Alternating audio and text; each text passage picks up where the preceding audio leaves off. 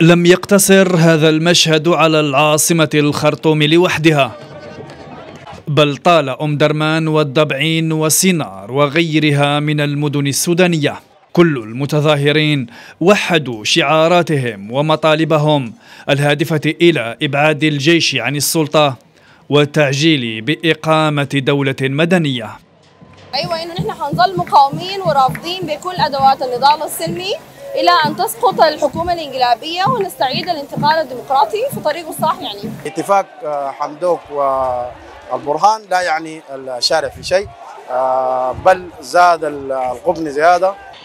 ندد المتظاهرون بالاتفاق السياسي الموقع في الواحد والعشرين من الشهر الماضي بين الجيش ورئيس مجلس الوزراء عبد الله حمدوك واعتبروه غطاء لسطوة الجيش على مقاليد السلطة.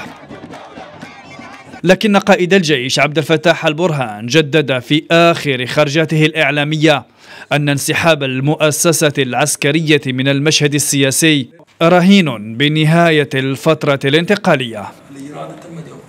لما تأتي حكومة منتخبة أظن آه، الجيش أو القوات المسلحة أو القوات النظامية كلها آه، ليست لديها مشاركة في الشأن السياسي. حتما هذا هو ما توافقنا وتوافقنا عليه وهذا هو وضع الطبيعي.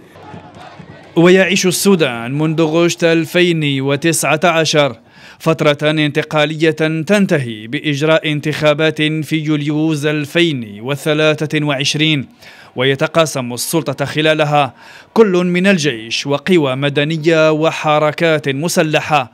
وقعت مع الحكومة في 2020 اتفاقا لإحلال السلام.